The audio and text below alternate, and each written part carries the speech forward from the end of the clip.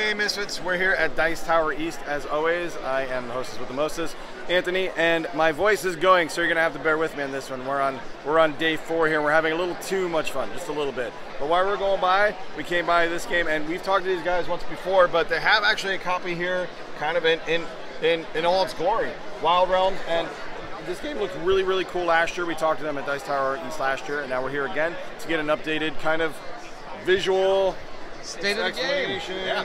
everything. We're gonna do a whole song and dance. It's gonna be great. So Jeremy, you're the developer and, or, and the artist. And the artist. So you're like a you're like double trouble. You're like you got that's it. all of the talent. You don't have to put up with anybody. Or like you can yell at yourself, I guess. If you I, and I have to sometimes. you yeah. have to, yeah.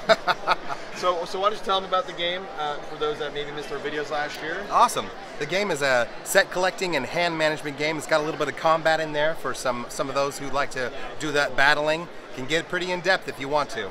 But the game really consists of a bunch of animals, over 50 unique different animals, and you got these pretty crazy wild realms here that you're going to discover in your deck.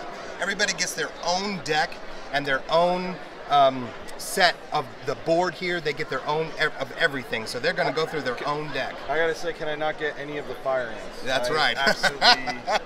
Well, if you get it on your side, then it's going to be in your own shows, kingdom to This shows that you're from Florida, right? You're from Florida? That Yeah, that's what- right. Yeah, ah, That's you right. gave it away. Yeah. anyway, go ahead. This is the most evil card on the It is board. It will come right after you. Absolutely, yeah. It's definitely, and it's got a leader icon on it as well, so it will come after you. oh no, no, no. That's no. right. but if it's on your side, that's what you want. So basically, it's the high five. You're going to defend with five animals up here, and then you're going to attack with five animals in your alliance, and then you get to hold five cards in your hand. So basically, the idea is what you want to do is you want to lock your realms with defending animals. If you can do that, you're going to win the game, all four realms. You're going to find out which icons here that you can collect, and they're going to be growth, and decay, swarm, um, lethal, and adapt. And that will give you the ability to lock that realm. And the first person to do that with all four of these realms wins the game. It gets a little complicated because everybody's racing to do that. And then everybody also will have the ability to stop you with their alliance. So I can mess people up. You can mess them up. I love it. I absolutely, right. I absolutely love messing people up. now I'm super excited. You you were talking about the legendary animals as well. That's got we threw that twist right in. So what we have here is an unleash a legendary beast. And this card is going to allow you to get one of these amazing legendary beasts out of this deck. It's going to either help everybody or it's going to harm everybody. And it, including yourself. Oh, okay. Yes, it comes after you too. You don't know what you're going to get until you draw it. Can can you spoil another beast? I'm just Yeah, curious sure now. can. Like, is there like? This is the marbled polecat. Oh, that seems less threatening than the other one. It does, But but, it also can protect you. This one will allow you to, to uh, protect you against any other attacks for one time. So you can display that above your realm, and then if somebody attacks you, you can say, "Nope, my marbled polecat is protecting me. I'm going to use that one."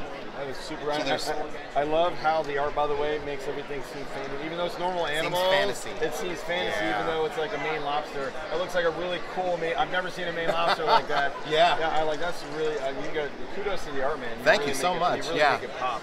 It took a while to put them all together, but now I'm sure, it's yeah. beautiful. Yeah, awesome. So, um, uh, is there anything else, uh, anything else I should know about the game? Anything else you want to add on it? It seems like it seems like we're going to be playing this a lot. Yeah, definitely. This is a very this good. is a very family-friendly game. Uh-huh. Uh, it could also be a very family um, uh, intense game, especially if you go after the attacking part. So families broken up. You've heard it Families here. broken, families mended. Families That's what it's all about. here, guys. Oh, Well, thank- it's coming out soon, Oh, aren't it? Yeah, when is it coming out? Yeah. It's coming out in a couple weeks. Um, we have it pre-order right now. you can do that. Oh, where can we go? You go to daywalkersyndicate.com, and then you can do that pre-order.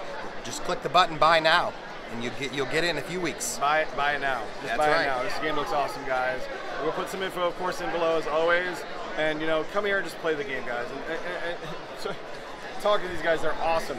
Indie publishers are the best. They come up with some really cool stuff. Here, I, I haven't honestly seen. Well, a I haven't seen Fire Ants games, but the art in this game is incredible, guys. As always, Dice Tower East. Come check it out. Have some fun. And as always, game on.